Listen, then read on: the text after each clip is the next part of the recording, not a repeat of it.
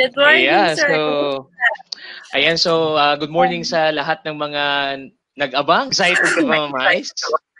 Ay, yes, sir. Sobrang excited ko. Sobra. Yeah. So today, of course, we will be having the uh, basic OER. Uh, we encourage you to use these tools para maging mas uh, relevant yung mga klase ninyo to your children, uh, to your learners, and also para mas uh, maging uh, maging useful sila uh, in this situation where uh, children may have to study at home. No? Uh, again, I would like to um, encourage you to be creative in using these uh, tools. Uh, please be a beacon of hope to our parents, to our children.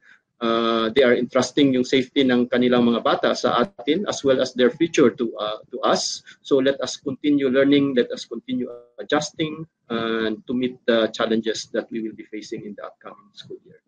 Magandang umaga sa inyong lahat. Po, thank you, thank you so much, Director Abram. Okay, sa inyo pong mensahe. Maraming salamat po. Okay, so I think we need to call now our first speaker. Uh, we have uh, one of the core leaders na po ng uh, OER. Uh, galing po siya ng Cavite. So we'd like to call in Sir John Taravieso. Sir? Hello. Good morning po. Yeah, so good morning, sir. Yeah, good morning. Morning, sir. Hello, ma'am. Good morning. So happy to be here. Morning, sir. See. Okay. So go ahead, sir. You may start now the uh, uh, presentation on for the word search. Okay, thank you very much po. Okay, so thank you, ma'am. So a very pleasant good morning to each and everyone. I'm so very happy and honored to be a part of this webinar today. And the assigned topic for me is uh, word search puzzle po. Okay, so to begin with, uh, samahan niyo po ako, tingnan tong aking uh, opening statement. This is my rationale. So, yung word search puzzle po, it is definitely a very effective tool po in engaging our learners during motivation period. So, yung time na kinukuha po natin yung kanilang atensyon. But then, it is also, pwede rin naman natin gamitin and we are going to introduce a new topic yung mga unfamiliar terms and words po. Pwede po natin siyang gamitin. But ito po ang conundrum niya. Sino po ba sa atin ang may time o oras para po gawin to? Kasi admittedly, it is a very laborious process po gumawa ng word search. Pero don't fret po. Hopefully, after this webinar, eh, magiging isa sa pinaka-favorite uh, tool po ninyo itong word search puzzle. Okay? So, tingnan po muna natin to. I have an example here. Baka hindi po tayo parehas na iniisip. Ayan. So, this is an example of a typical word search puzzle. It is basically a table with horizontal and vertical rows of what would seem to be uh, random letters. Pero since meron po siyang mga clue, pwede pong nandito sa right side, pwedeng sa left, pwedeng sa ilalim wherein we will instruct our learners na hanapin po nila yung mga words na yon dito po. Okay, so yan po ang word search puzzle. So, bago po tayo pumunta doon sa sinasabi ko pong tool, let us take a short uh, reminisce. Mag-reminisce po muna tayo kung paano po ba natin ginagawa ito dati so that we can compare na talagang yung matutunan natin for today is talagang very uh, effective and cost uh, cost time saving po. So, in the past, pag tayo po'y gumagawa, pwede po siyang PowerPoint, Excel, or karamihan dito po sa Word. What we will do, we will insert a set of tables. So, dito, gawin po natin siya na 8 by 8. Yan. An 8 by 8 table po. And then after that, atin po siyang palalakihan ng font. Yan natin siguro mga 42 para magmukhang square. And then, saka natin siya i-center. Now, pagdating po dito, so for example, ako ay isang science teacher. Tapos, our topic is all about matter. So, for example, I would say solid. Uh, hahanap pa ako ng lugar kung saan siya hindi kagad makikita. So, pwede dito. Bawa, solid. Yan po. And then, halimbawa, gas. So, medyo madali ito. Pwede ko dito siya ilagay. Ayan. And then, halimbawa, uh, the word element. So, pwede rin naman po siya napad-diagonal. Ayan.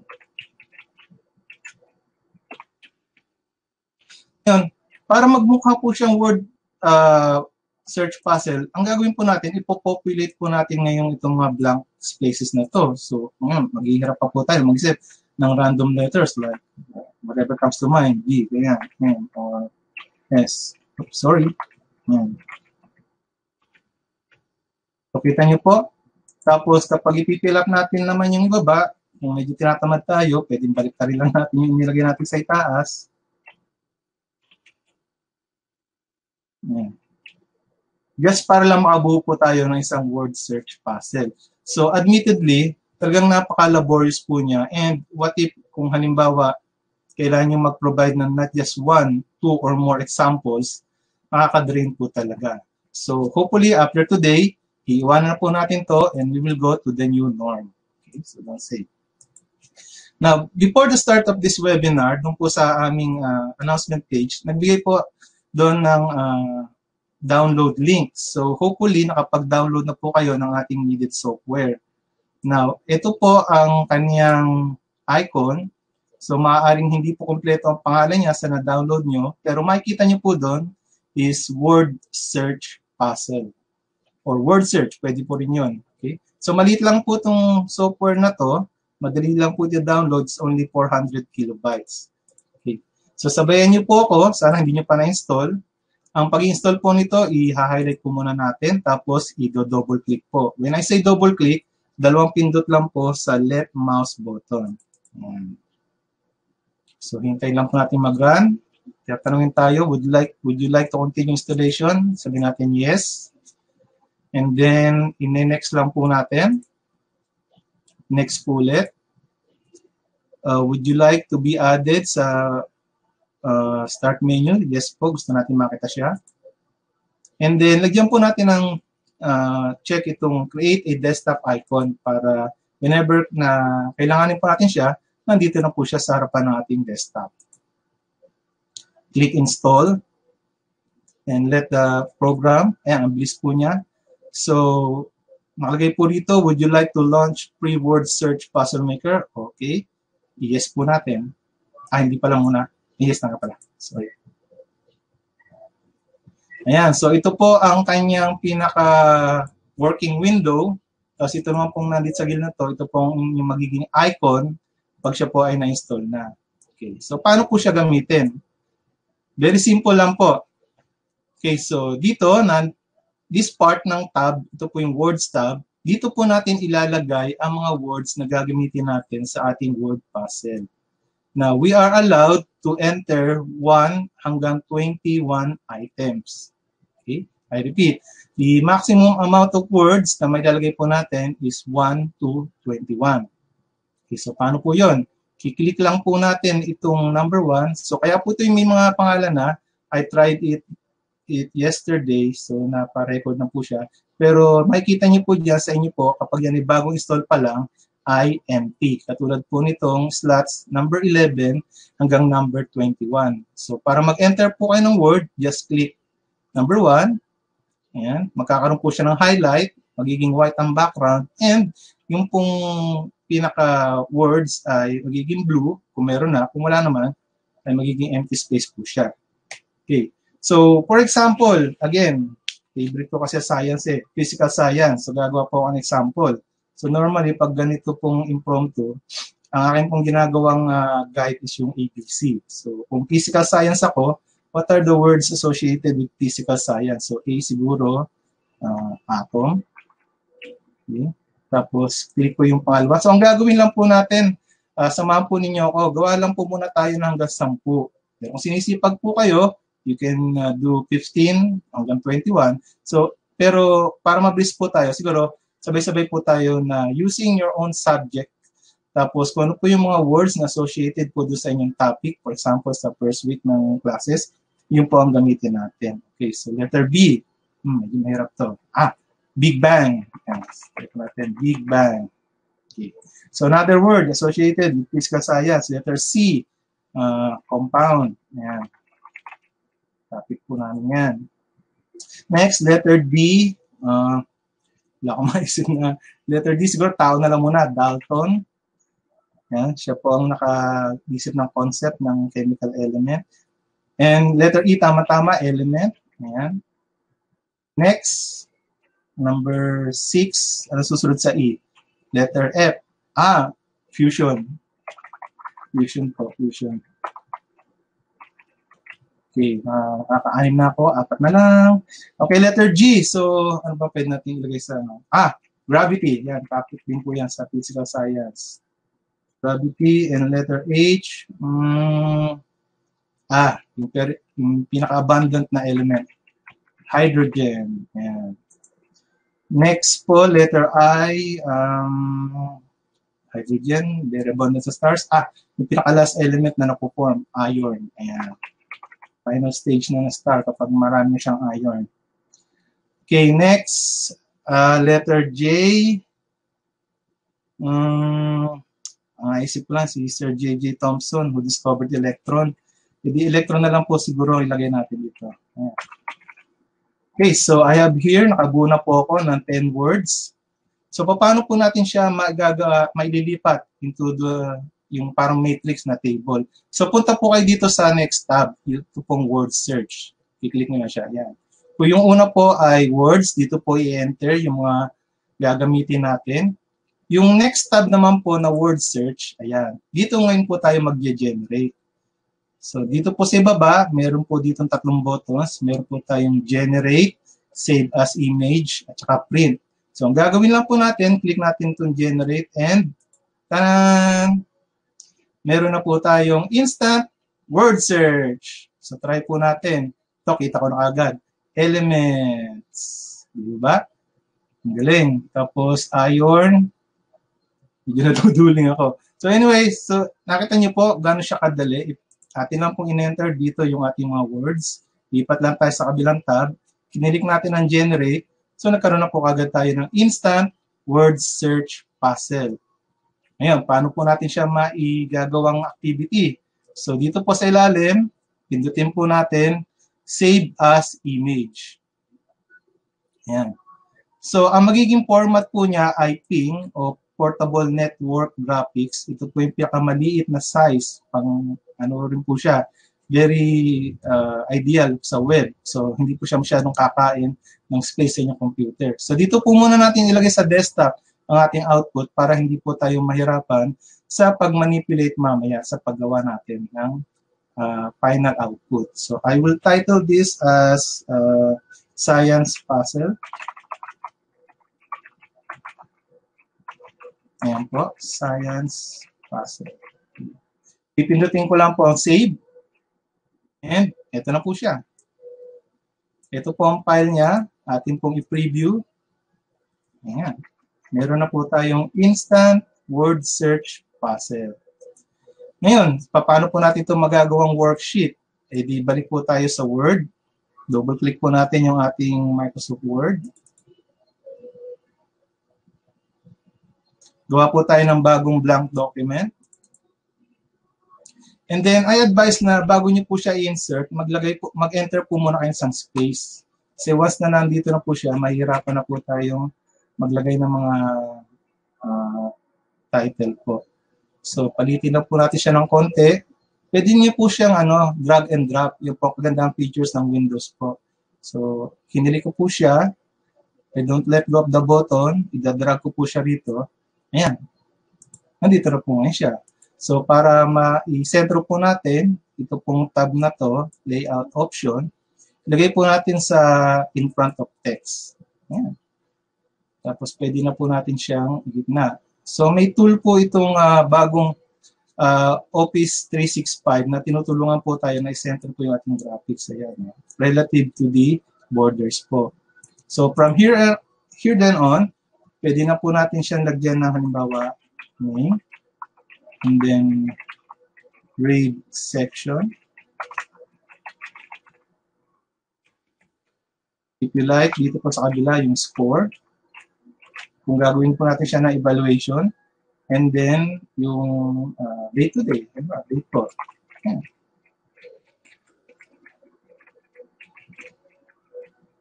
Sorry. Tapos sa ilalim, yung pong mga ginamit po natin na words. Oops. Mama po siya. Okay. Ay, lalagyan po pala muna natin instructions. So, instructions, select uh, the words below in the table. Hindi na po ba yun? select the words that below that can be found in the table. Let's go okay. So, lagay po natin dito yung atom, yung Big Bang, yung compound,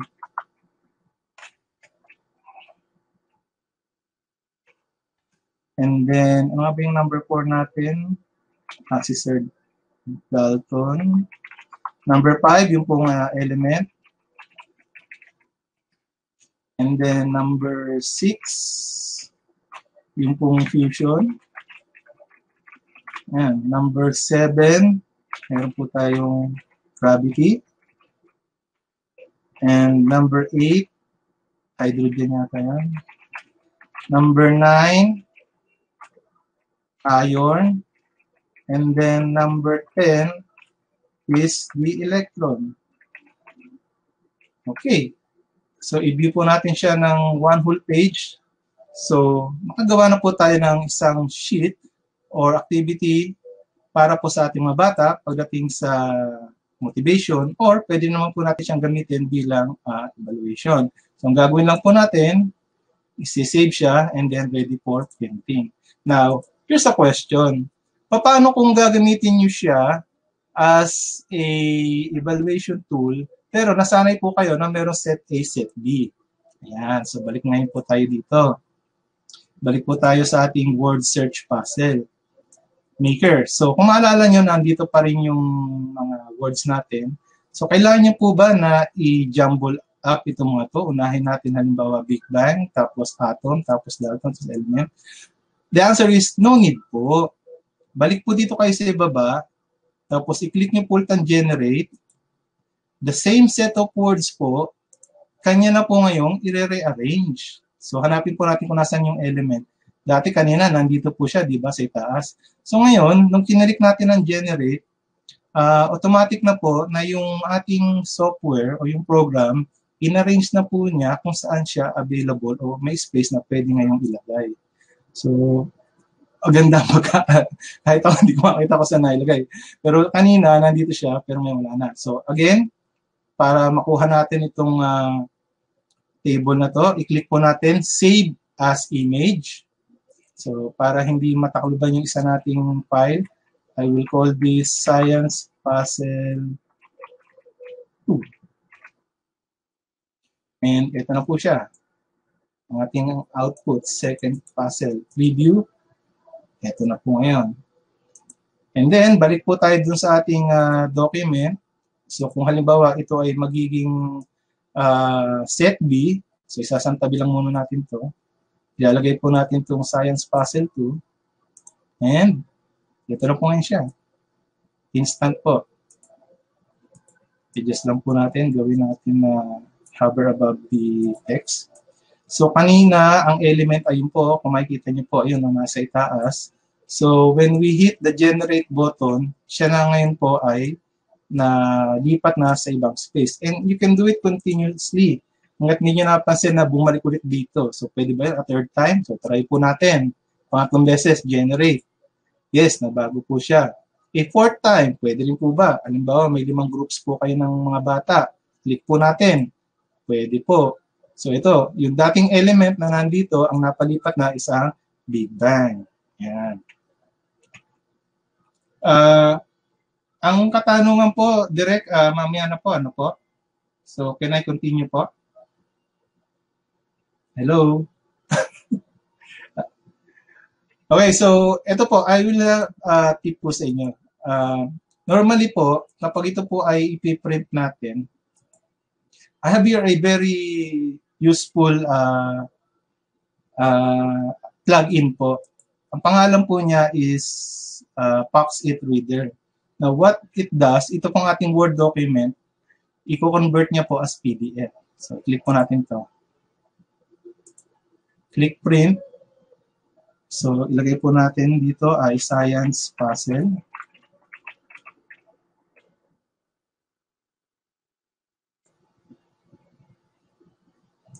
And, so, hintayin lang po natin mag-run yung software. And then, ito na po siya. From Microsoft Word, ginamitan po natin ang plugin na PAX8 Reader, naging ano na po siya, PDF.